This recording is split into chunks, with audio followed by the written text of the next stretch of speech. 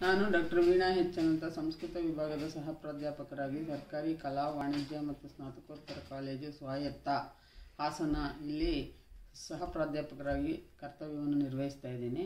ಈಗ ಅಭಿಜ್ಞಾನ ಶಾಕುಂತಲದ ನಾಟಕದ ಕಥೆ ಹೇಗೆ ತನ್ನ ರೂಪವನ್ನು ಪಡೆದುಕೊಂಡಿದೆ ಎನ್ನುವ ವಿಚಾರವನ್ನು ಈಗ ಹೇಳಲು ಇಚ್ಛಿಸುತ್ತೇನೆ. ಅಭಿಜ್ಞಾನ ಶಾಕುಂತಲದ ನಾಟಕ ಕಥೆ, ನಾಟಕದ ಕಥೆ. ಈಶ್ವರನ ಅಷ್ಟಮೂರ್ತಿಗಳನ್ನು ಸ್ತುತಿಸುವ ನಾಂದಿಯ ನಂತರ ಸೂತ್ರಧಾರನು ಬಂದು ಕಾಳಿದಾಸನು ವಿರಚಿಸಿದ ಅಭಿಜ್ಞಾನ ಶಾಕುಂತಲವೆಂಬ ನಾಟಕವನ್ನು ಪ್ರಯೋಗಿಸುವೆವು ಎಂದು ಹೇಳುವನು. ನಟಿಗೆ ಗ್ರೀಷ್ಮ ಋತುವನ್ನು ವರ್ಣಿಸಲು ಹೇಳುವನು. ಅವಳ ಸಂಗೀತ ಮಾಧುರ್ಯದಿಂದ ತನ್ನ ಮನಸ್ಸು ತಪ್ಪಿಸಿಕೊಳ್ಳಲು ಓಡುತ್ತಿರುವ ಜಿಂಕೆ, ಜಿಂಕೆಯಿಂದ ದುಷ್ಯಂತನು ಆಕರ್ಷಿಸಲ್ಪಟ್ಟಂತೆ ಆಕರ್ಷಿಸಲ್ಪಟ್ಟಿತು ಎಂದು ಹೇಳಿ ಮುಖ್ಯ ದೃಶ್ಯದ ದುಷ್ಯಂತನು ಜಿಂಕೆಯ ಬೆನ್ನೆತ್ತಿ ಬರುವ ಘಟನೆಯನ್ನು ಸೂಚಿಸಿ, ಪ್ರಸ್ತಾವನೆಯನ್ನು ಮುಗಿಸಿ ಹೊರಡುವನು. ಅಂಕ ಒಂದು. ಜಿಂಕೆಯ ಬೆನ್ನೆತ್ತಿ ರಥವನ್ನು ಓಡಿಸಿಕೊಂಡು ಬರುತ್ತಿರುವ ದುಷ್ಯಂತ ಮತ್ತು ಸೂತರ ಪ್ರವೇಶದಿಂದ ಮೊದಲನೇ ಅಂಕವು ಪ್ರಾರಂಭವಾಗುವುದು.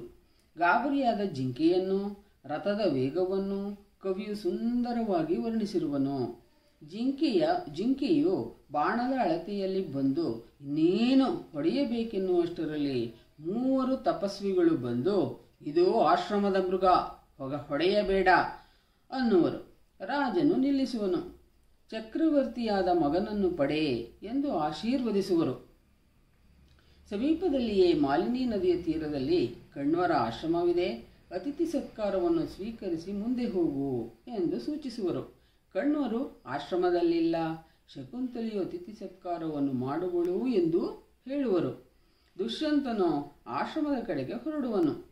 ಆಶ್ರಮದ ಪರಿಸರವನ್ನು ಕವಿಯು ಮನೋಹರವಾಗಿ ವರ್ಣಿಸಿದ್ದಾನೆ. ಆಶ್ರಮದ ಹೊರಗೆ ರಥವನ್ನು ನಿಲ್ಲಿಸಿ ರಾಜ ವೇಷಭೂಷಗಳನ್ನು ತೆಗೆದು ಸೂತನಿಗೆ ಕುದುರೆಗಳನ್ನು ತೊಳೆಯಲು ಹೇಳಿ ಒಳಗೆ ಹೋಗುವನು. ಆಶ್ರಮದ ಒಂದು ಬದಿಯಿಂದ ತಾಪಸ ಕನ್ನಿಕೆಯರ ಮಧುರವಾದ ಸಂಭಾಷಣೆಯು ಕೇಳಿಸುವುದು. ಅವರ ಸಂದ ಸೌಂದರ್ಯವನ್ನು ನೋಡಿ ಬೆರಗಾಗುವನು. ಮರೆಯಲ್ಲಿ ನಿಂತು ನೋಡುವನು. ಶಕುಂತಲೆಯ ಅವ್ಯಾಜ ಮನೋಹರವಾದ ಸೌಂದರ್ಯವನ್ನು ಸವಿಯುವನು.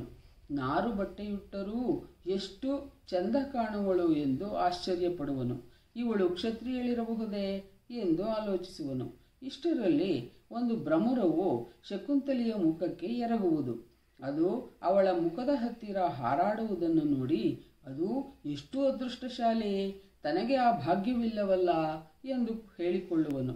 ಭ್ರಮರದ ಬಾಧೆಯನ್ನು ತಾಳಲಾರದೆ ಶಕುಂತಲೆಯು ಗೋಳಾಡುತ್ತಿರುವುದನ್ನು ಅವಳ ಸಖಿಯರು, ರಾಜ, ದುಷ್ಯಂತನನ್ನು ರಕ್ಷಣೆಗಾಗಿ ಕೂಗು ಎಂದು ಎಂದಾಗ ಪ್ರಕಟವಾಗಲು ಇದೇ ಸರಿಯಾದ ಸಮಯ ಎಂದು ದುಷ್ಯಂತನು ಅವರ ಎದುರಿಗೆ ಬರುವನು. ಮೊದಲು ತುಸು ಗಾಬರಿಯಾದರೂ ಶಕುಂತಲೆಯ ಗೆಳತಿಯರು ಅವನನ್ನು ಸ್ವಾಗತಿಸುವರು. ಎಲ್ಲರೂ ಮರದ ನೆರಳಿನಲ್ಲಿ ಕುಳಿತುಕೊಳ್ಳುವರು. ದುಷ್ಯಂತನ ಪರಿಚಯವನ್ನು ಕೇಳುವರು. ಅವನು ಸ್ಪಷ್ಟವಾಗಿ ತಾನು ರಾಜನೆಂದು ಹೇಳದಿದ್ದರೂ ಚತುರಿಯರಾದ ಅವರು ಅವನು ರಾಜನೆಂದು ತಿಳಿದುಕೊಳ್ಳುವರು. ದುಷ್ಯಂತನು ಶಕುಂತಲೆಯ ಜನ್ಮ ವೃತ್ತಾಂತವನ್ನು ಕೇಳಿ, ಅವಳು ವಿಶ್ವಾಮಿತ್ರ ಮತ್ತು ಮೇನಕಿಯರ ಪುತ್ರಿ ಎಂದು ತಾನು ಮದುವೆ ಮಾಡಿಕೊಳ್ಳಲು ಅರ್ಹಳೆಂಬುದನ್ನು ತಿಳಿದುಕೊಳ್ಳುವನು. ಈ ಸಂಭಾಷಣೆಯ ಸಂದರ್ಭದಲ್ಲಿ ಶಕುಂತಲೆ ದುಷ್ಯಂತರು ಪರಸ್ಪರ ನೋಡಿ ಮೋಹಿತರಾಗುವರು, ಅನುರಾಗವನ್ನು ತಾಳುವರು. ಇವರ ಮನೋಭಾವವು ಗೆಳತಿಯರಿಗೂ ತಿಳಿಯುವುದು.